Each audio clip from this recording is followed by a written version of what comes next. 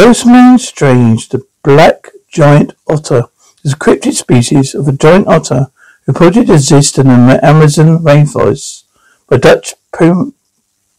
primatologist Marc van Roosmalen.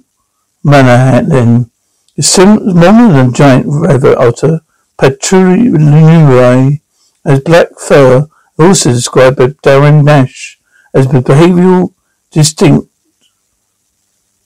is behaviorally distinct from the giant river otter